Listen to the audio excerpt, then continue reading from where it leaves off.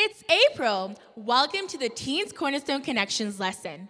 In our last lesson, we posed the question faith first, with Brenda taking us through the mission story from our inter European division, rhythmic warm music from our orchestra, Amy on the violin, Sabira on the clarinet, Joyce interpreting for us using sign language, and lastly, our wonderful, fantastic panelists, Sabira, Salman, Cheryl, Sid, and our wonderful teen teachers. Enjoy!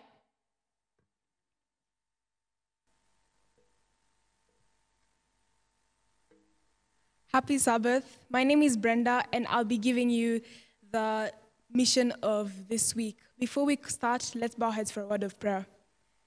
Our Father in heaven, thank you for this beautiful Sabbath morning that you brought us together as we're about to read through the mission and learn something new and something that might give us hope to continue mission towards people who haven't heard about you yet. In Jesus' name we pray. Amen.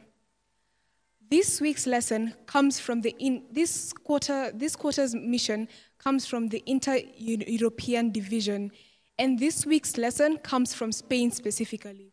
A fun fact about Spain first is that their main language is Spanish. Spanish is a language that's spoken by over 5, 570 million people all around the world. And 21 of these countries have Spanish as their national language. That's such a great or awesome thing to know.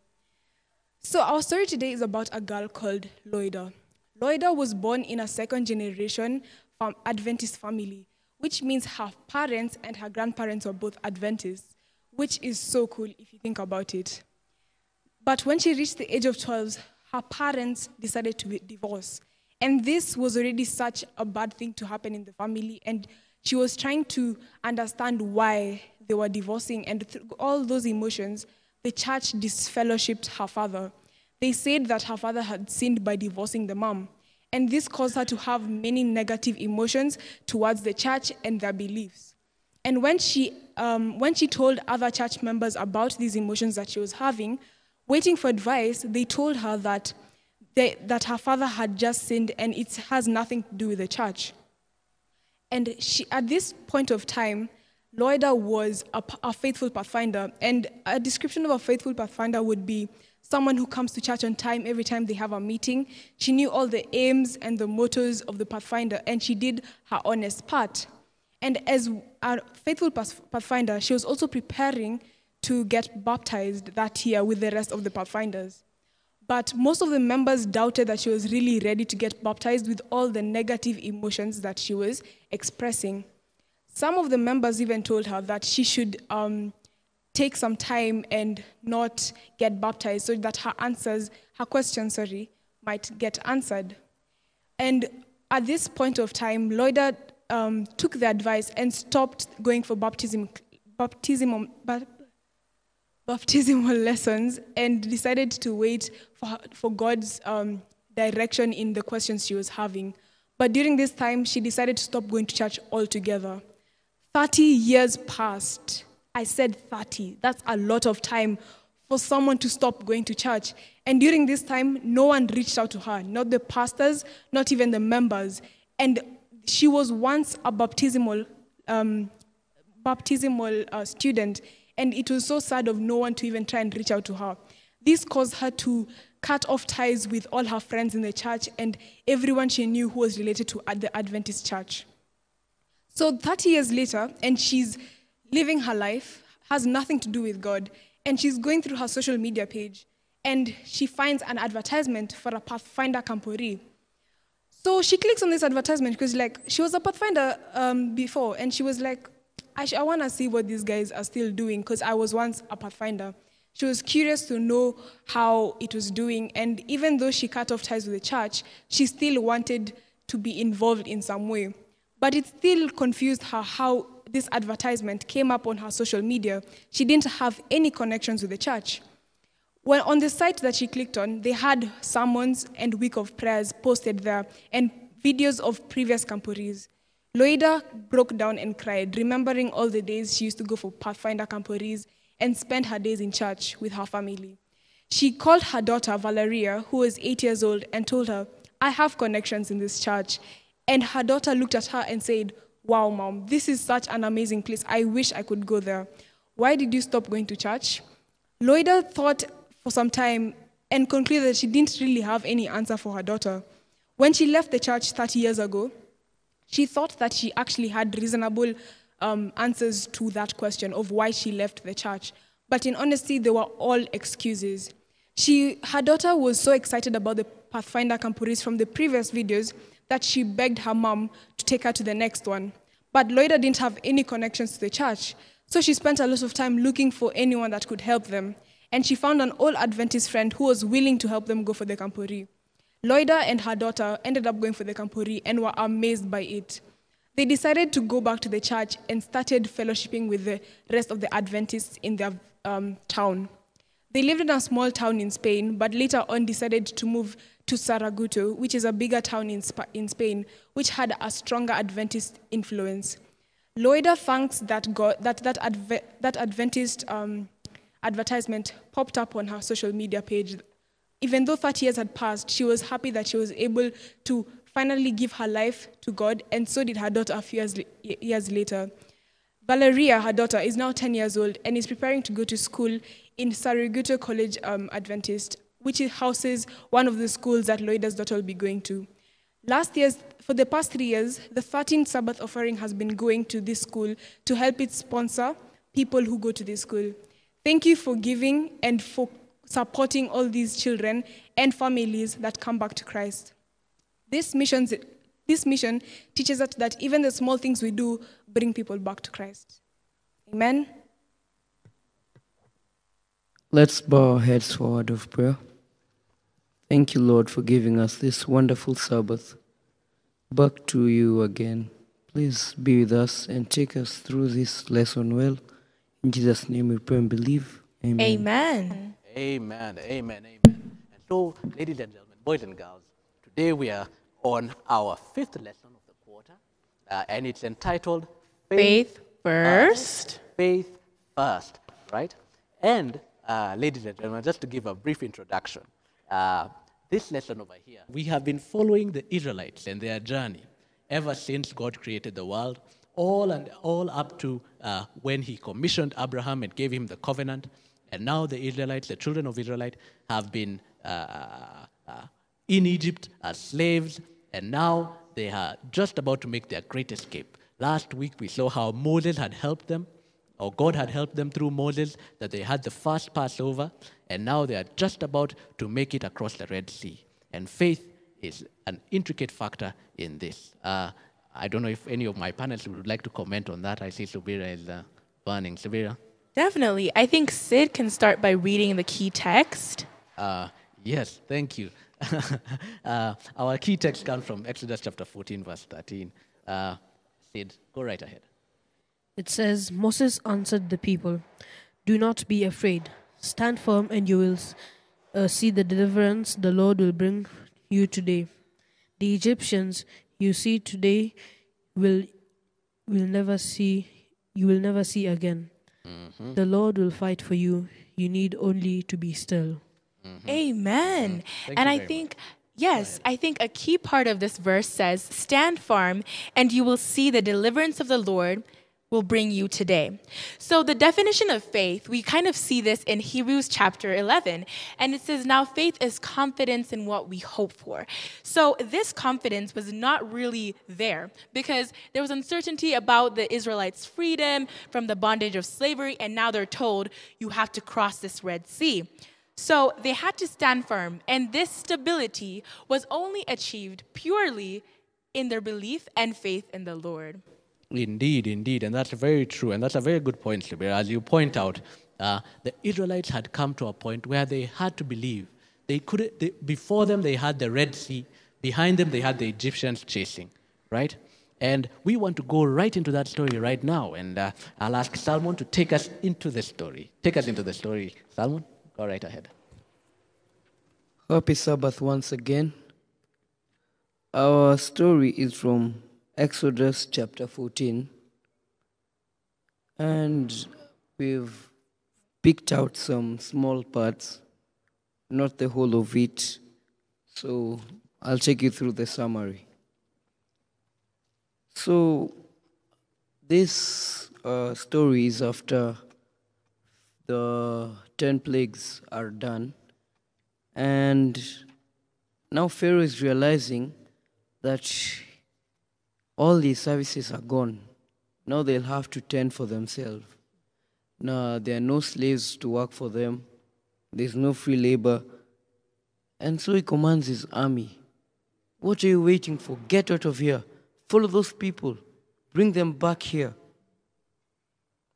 And as fast as possible, the army is up, everyone, the chariots, and they're going for war.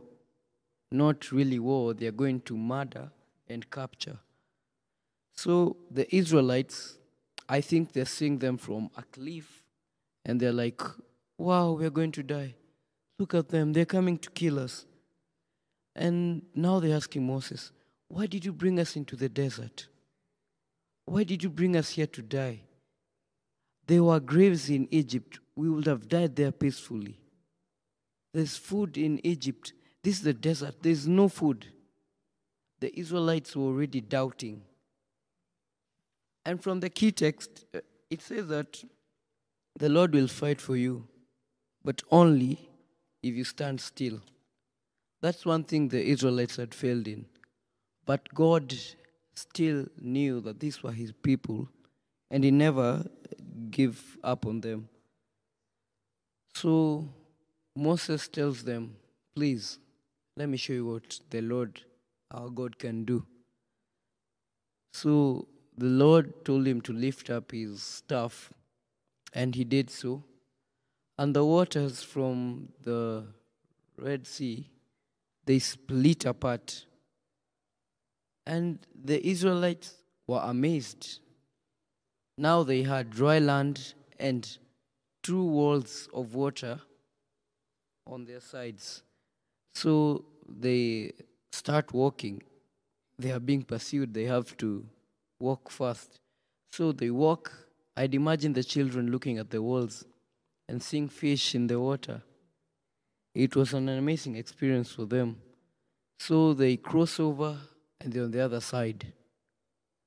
And the Pharaoh is like, seriously, if they can do that, they made a snake, we made a snake. We can also pass through. And now go, go, go, go. Eh, They're moving, they're moving.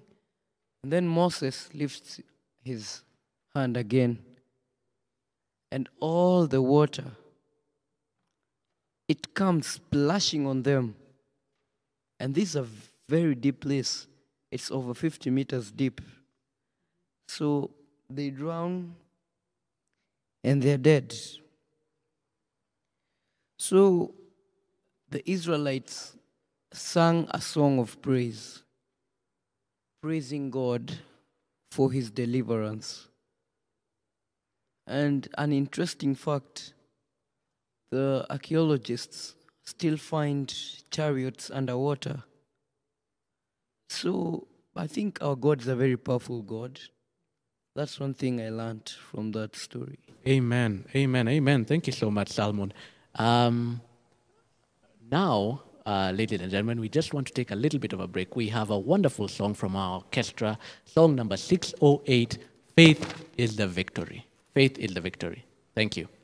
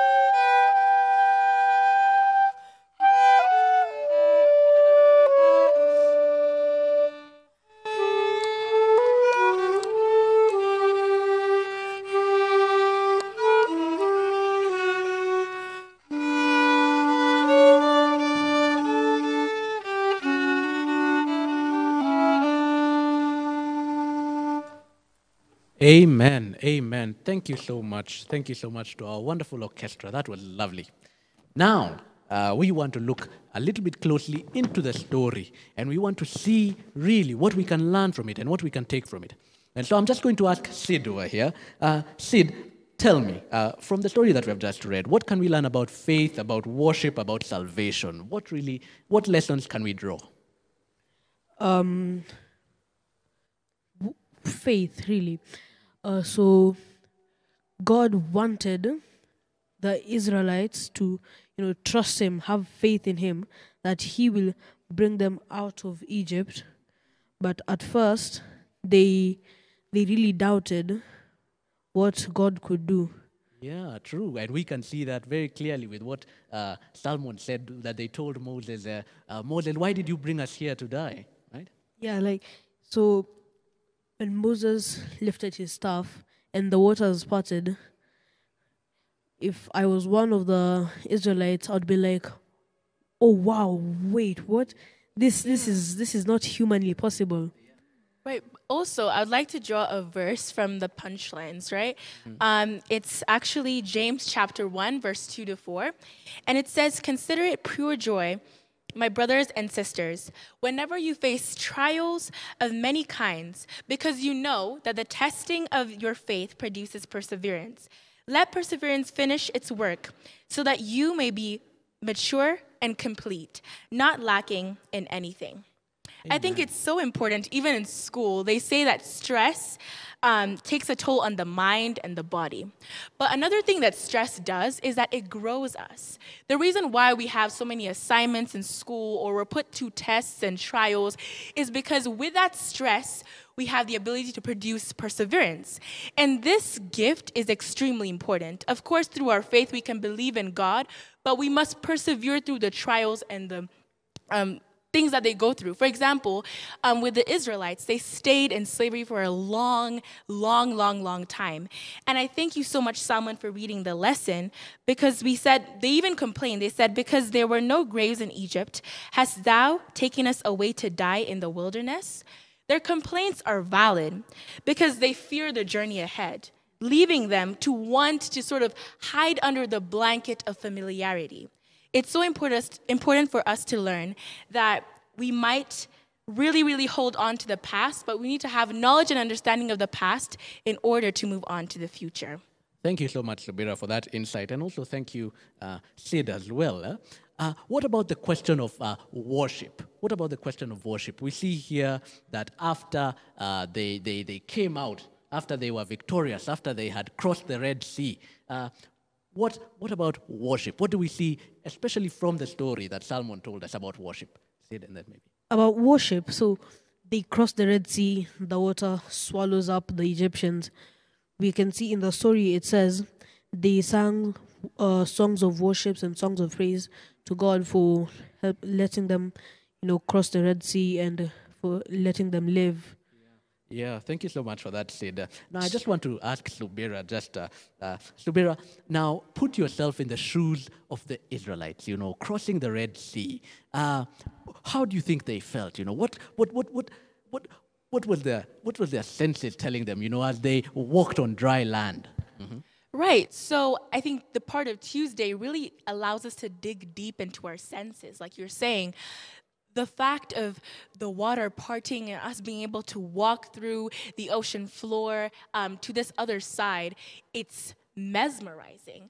Um, I couldn't really imagine it, but really being in that situation is just showing how powerful God can be, his power over nature.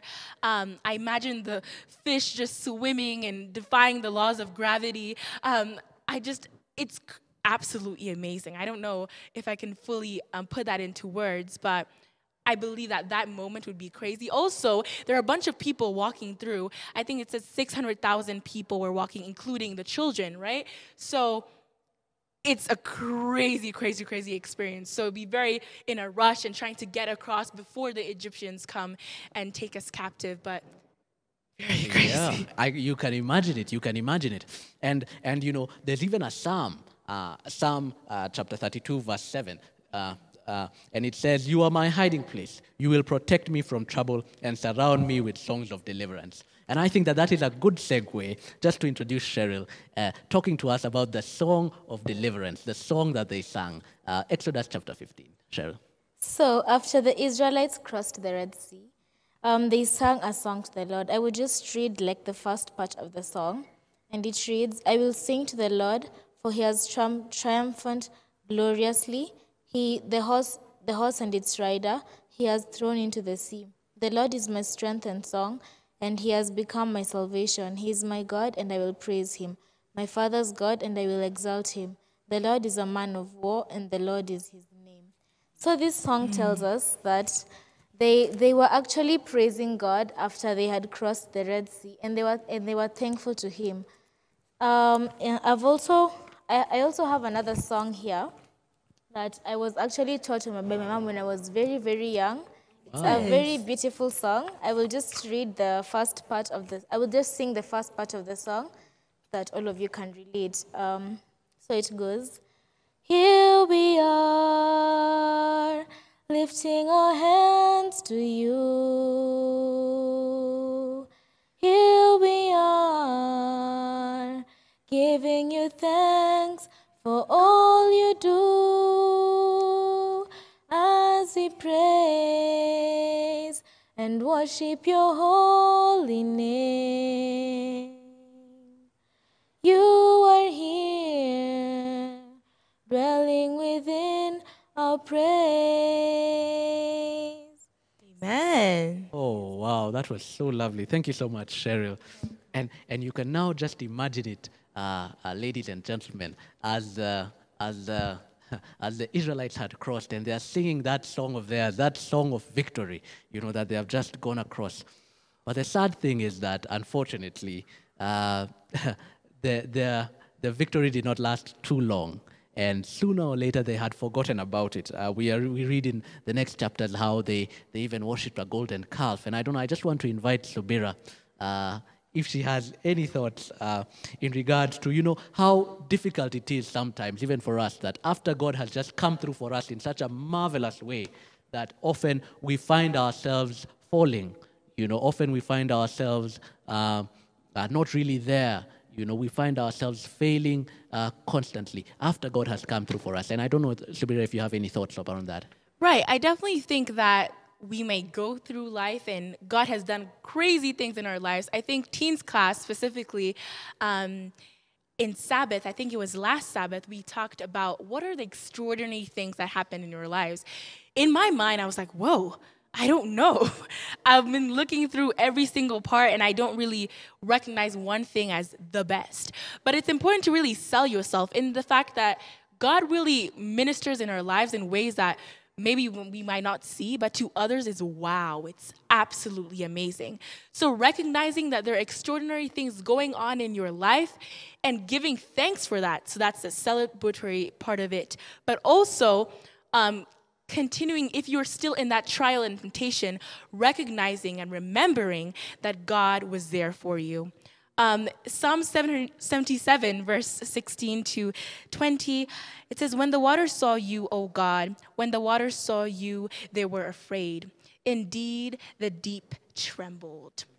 And this part is so important because substitute waters with whatever issue you're going through. When the great saw you, when um, the financial situation saw you, they trembled. There is no problem or issue in our lives that God cannot manage.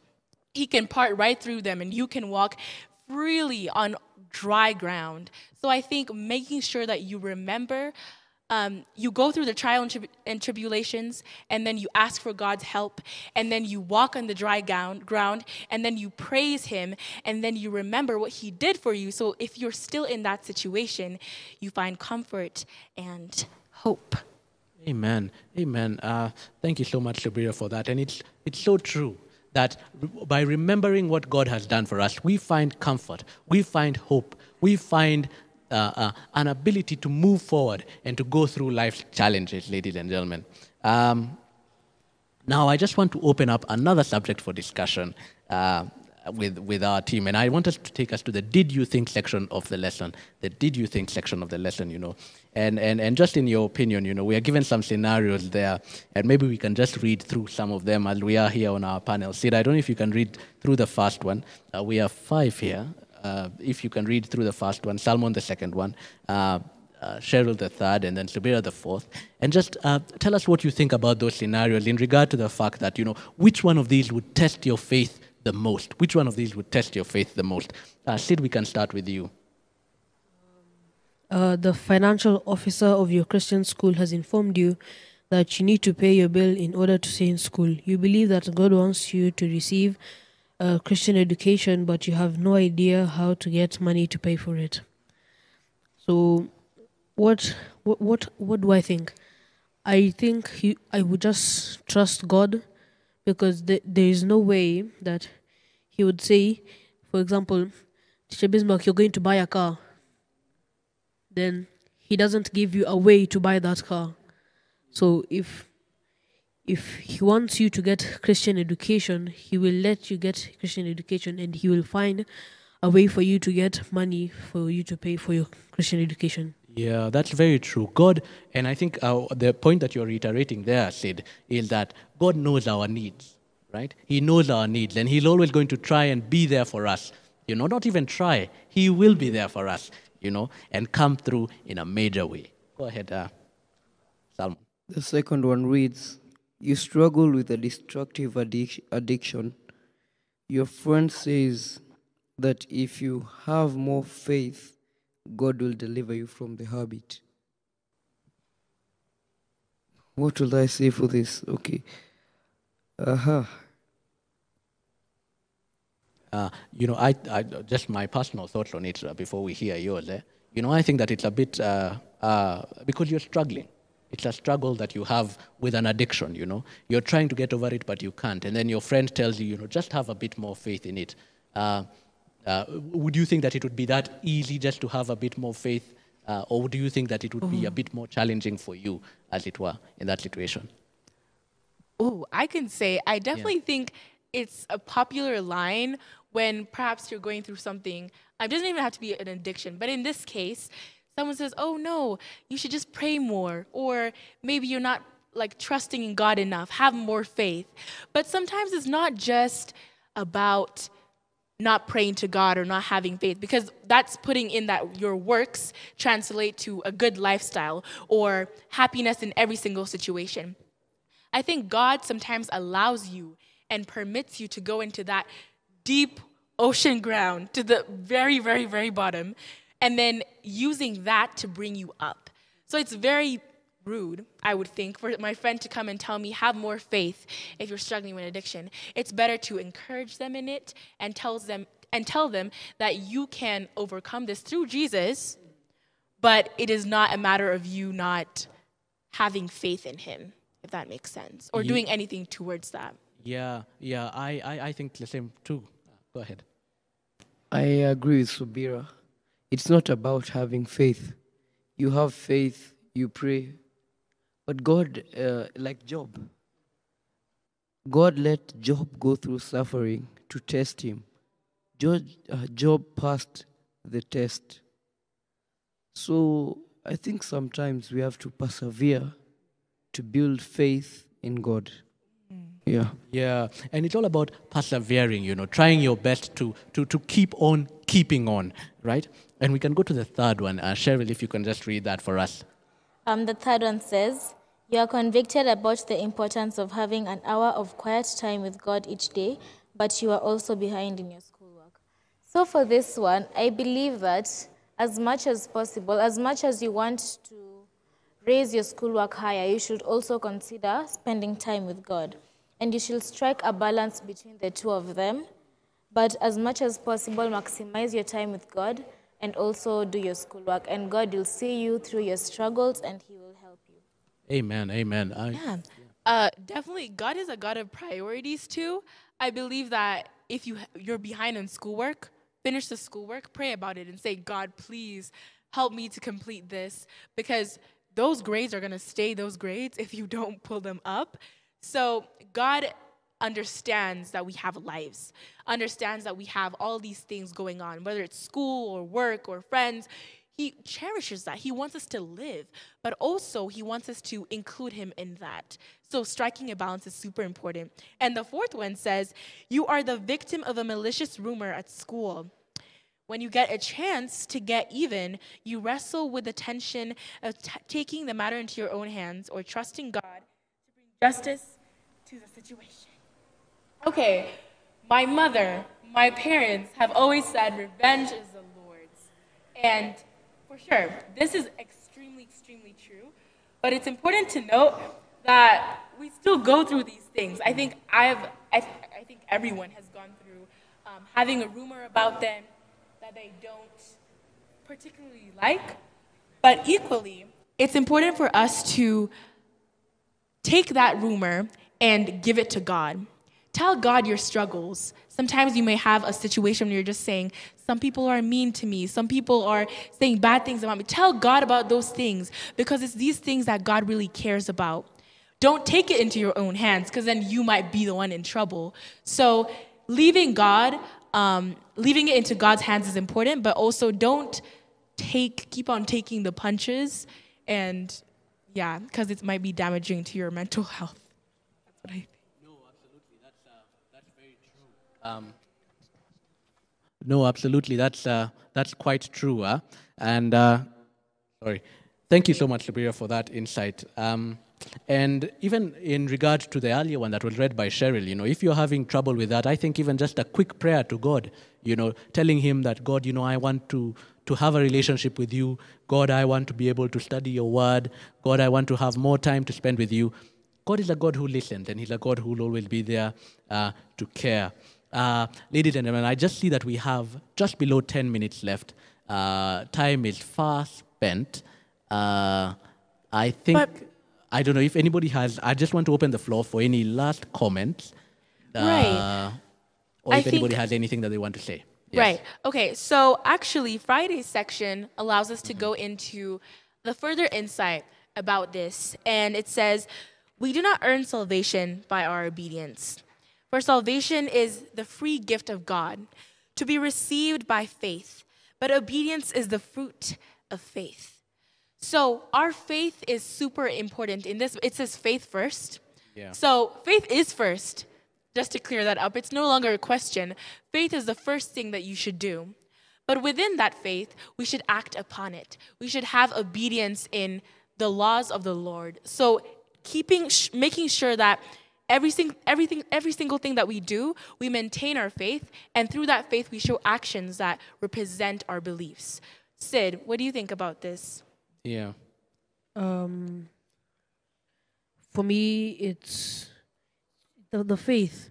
You just have to, you know, keep on having the faith, uh, keep on having faith in the Lord because what He wants to do for you, He will do only if you have faith in Him. Uh, Cheryl, you can go. Uh, Um, and as you continue reading the further insight, it says, Christ changes the heart. He abides now in your heart by faith. Then, with Christ working in you, you will manifest the same spirit and do the same good works, works of righteousness, obedience. So, um, I think faith is like the, the foundation for everything else. Once you have faith in your life, you would be able to have obedience, peace, patience, and all the other things that come along with it. So, it's important for us to have faith. Uh-huh. Salman, go right ahead. Uh, so, I'd I also agree on the matter of faith. Faith really just comes out here, because without faith, Moses wouldn't have been able to separate the waters. Without faith, the Israelites wouldn't have been able to pass, because as much as it's stunning, it's also astonishing. Why would I go between these two waters? Who is assuring me that I won't? Die. Yeah. Yeah. So faith is really a key component here. Yeah. Ellen, Ellen G. White actually t- speaks more about this um, situation. And in this story, it talks specifically about, I, th- I think I talked before about how the Israelites really wanted to go back to Egypt because they had this familiar blanket. And sometimes we get too used to bad situations, but we really need to get out of that and realize what God has to offer for us. Okay? And there's this phrase in Hawaiian. It says, E moakaka ke ala o ke ia mua aku i ka wa i hala. So my attempt to speak Hawaiian is laughable, but the message is really important. It says, the path to the future is made clear through our knowledge and our understanding of the past. Mm. So they really had to realize where they came from. They came from all that hurt and all that slavery, but their future was determined of what God really wanted to happen in their lives. Yes, yes. Thank you so much, uh, Subira, and my wonderful panelists for your wonderful insights uh, during this lesson. Ladies and gentlemen, that has been our lesson. We have been looking really at the story of the Israelites crossing the Red Sea, and we have noted unequivocally that what it took on their part, on their part, was faith, ladies and gentlemen. It took faith for them to make even that first step into those waters. You can imagine. You can imagine you're there, the Egyptians are behind you, you don't know if you're going to die. You know, it's a tough, tough decision. And what the Bible is admonishing us to do is have faith. Put faith first. Put faith first. Uh, in the Friday part, ladies and gentlemen, uh, we are given a, a bit of, a, of, a, of an extracurricular activity that we can do. And it says, uh, you know, to keep a journal for the next six months, you know, and carefully, carefully document times when you sense God's leading right?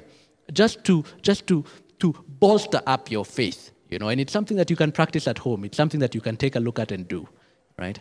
Anyway, my name, has been, my name is Bismarck Lumumba. I've been your teacher here.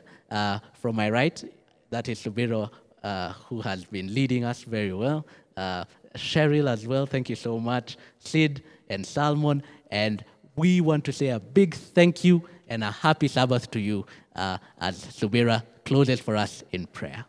Okay, let's pray. Dear Father God, thank you so much for this day. Thank you for blessing us this Sabbath morning. And we've been reading this wonderful lesson about faith first. And we no longer have this question. We definitely know that we need to have faith, but equally that our obedience may really support and really um, emphasize our faith in you, Lord. I think as you led the Israelites through the Red Sea, this very taunting experience for them, you can lead us through all our troubles, all our situations that we really need your guidance. Let us have faith in the most abundant way possible. Bless us and protect us. In Jesus' name I pray and believe. Amen. Amen. Amen. From all of us here, bye and happy Sabbath.